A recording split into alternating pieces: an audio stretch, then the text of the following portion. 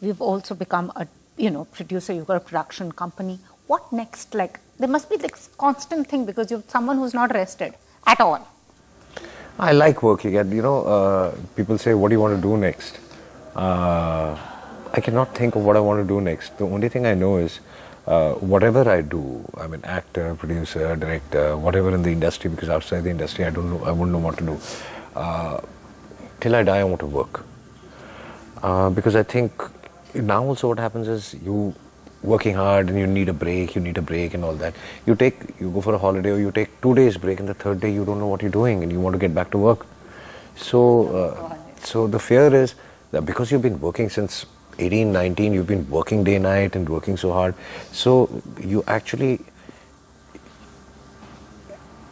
and you suddenly start realizing that you've lost all your hobbies. You don't have any hobbies. And, uh, and to develop your hobbies again is very important now. I don't know how much you can do it. So, so it's better that you work till you die. Otherwise, you'll go insane. Absolutely. And what about web series? Are you planning to get into that space as well? Because most of your colleagues are getting into that space now. Uh, as a production house, As a production- we are we are working on it. Uh, as an actor, uh, if there is something fabulous, then I might. Uh, yeah, that's it.